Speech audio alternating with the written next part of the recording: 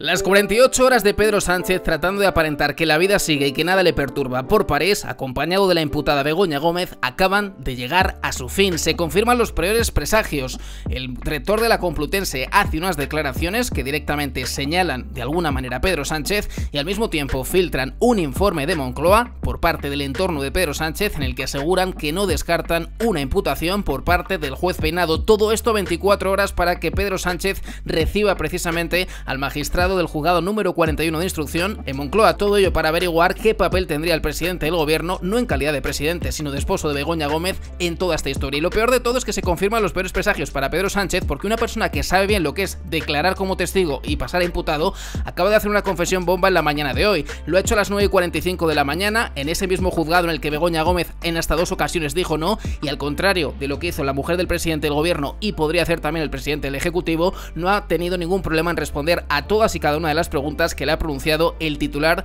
del juzgado que acabo de mencionar. Y es que, como digo, el rector de la Universidad Complutense de Madrid, Joaquín Goyache, eh, se ratifica en vísperas de la declaración del presidente del gobierno con una confesión que de alguna manera señala directamente al presidente del Ejecutivo con un sonoro textual y literal, estuve en Moncloa. Todo esto lo ha señalado nuevamente ante el juez. Recordemos que como testigo ya hizo esas aseveraciones, reconociendo que Pedro Sánchez incluso estaba por allí. Y en esta ocasión, después de que a Begoña Gómez se le acuse, se le impute por tráfico de influencias y corrupción en los negocios, reconoce ni más ni menos que le dio esa cátedra a Begoña Gómez después de haber tenido una reunión personal en Moncloa e incluso sabiendo y siendo plenamente consciente que la mujer del presidente del gobierno no tenía cualidades ni capacidades para ello. Básicamente no tenía la titulación oficial como para estar al frente de una cátedra. Joaquín Goyach ha abierto la ronda de testificales prevista para este 29 de julio en el marco de la investigación judicial abierta sobre la figura de Begoña Gómez y el rector de la Complutense llegaba a las 9 y media, a las 9.45 ya estaba declarando y ha estado precisamente respondiendo a las preguntas de los jueces y de los allí presentes durante más de una hora. Peinado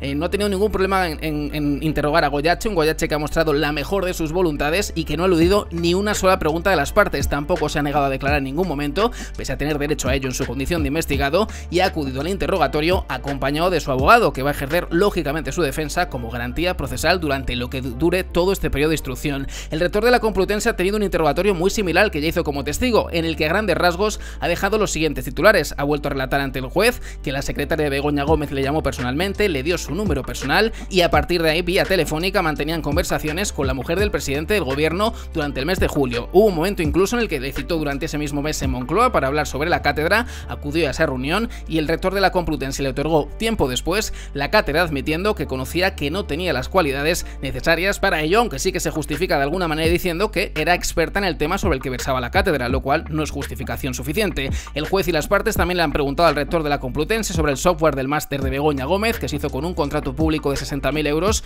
y en donde la mujer de Pedro Sánchez firmó los pliegos de prescripción técnicas de esta licitación sin ser ingeniera técnica e informática, algo que podría incardinarse incluso en un delito de intrusismo profesional, tal y como se ha pedido por parte del sindicato Manos Limpias. Joaquín Goyache también ha admitido otra vez ante el juez que existe un informe negativo sobre una factura de 24.200 euros en torno a ese mismo contrato. El abogado de Begoña Gómez, Antonio Camacho, se ha quedado con las ganas de impedir esta declaración y es que debido a un retraso en un tren ha llegado tarde y a partir de aquí el juez instructor Juan Carlos Peinado no le ha dejado entrar al interrogatorio. Camacho, que se había puesto en hasta dos ocasiones a que Goyache declarase ante el juez, se ha quedado con las ganas de torpedear esta declaración que nuevamente señala Begoña Gómez y que también vuelve a señalar de alguna manera a su esposo, a un Pedro Sánchez que mañana a 24 horas precisamente para sentarse en esa misma situación eh, despierta mucha incertidumbre en su entorno. Tanto es así que la sexta ha cedido a un informe por parte de Moncloa de personas del entorno del presidente del gobierno y ojo al titular porque mete, el miedo en el cuerpo a cualquiera. Dice Moncloa no descarta que el juez Peinado pida al Supremo imputar a Sánchez en la causa contra Begoña Gómez, es decir, la misma situación por la que ha pasado el rector de la Universidad Complutense de Madrid. ¿Qué es lo que dice su entorno? Pues no descarta ningún escenario, se ponen en lo peor, dicen que Pedro Sánchez ha estado 48 horas preparando esta declaración, sabe que se va a grabar, sabe que va a haber audio, que va a haber vídeo, que se puede filtrar y sobre todo que el peor de sus enemigos probablemente a nivel político, Vox lo confirman en el día de hoy, va a estar presente en ese interrogatorio y a falta de 24 horas el Partido Socialista Obrero Español, Moncloa, los asesores de Pedro Sánchez no descartan ningún escenario, ninguna eh, salida por parte del juez Peinado, incluso pues se ponen en lo peor y es esa imputación al Tribunal Supremo. Así lo trasladan fuentes del Ejecutivo a la sexta antes de la previsible declaración de Sánchez y es que si bien es cierto que la Fiscalía ha vuelto a reclamar y a presentar un recurso, sigue sin respuesta y todo hace pensar que salvo giro de los acontecimientos eh, totalmente inesperado, cosa que parece ser que no va a suceder ni mucho menos, mañana a las 11 de la mañana Pedro Sánchez se va a enfrentar al juez peinado y a partir de aquí lo peor podría llegar a suceder. Y es que en la presidencia ya dan por hecho que no se va a poder evitar esa declaración, ni que se grabe,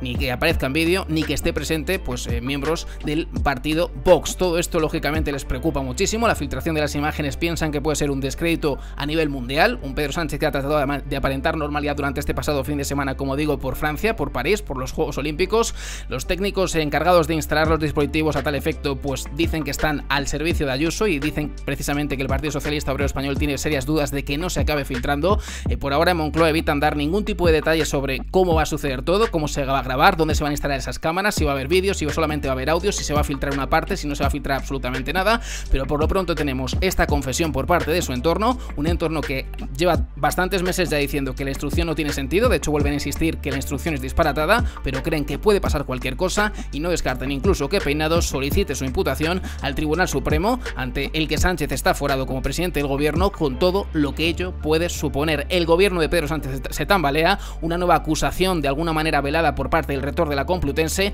y una información por parte de Moncloa de que Pedro Sánchez podría acabar con sus huesos en la imputación. Ojo a esto porque es una situación muy límite la que está atravesando el presidente del gobierno, cada vez menos respaldado en lo político y cada vez más acechado en lo procesal. No solamente sería Begoña Gómez la imputada, sino también el presidente del gobierno. Información de última hora, este 29 de julio de 2024, insisto, a tan solo 24 horas para que Pedro Sánchez reciba al juez peinado en Moncloa para interrogarle. Como vemos, situación completamente límite y miedo en el cuerpo por parte de los socios de Sánchez y sus asesores porque se temen lo peor.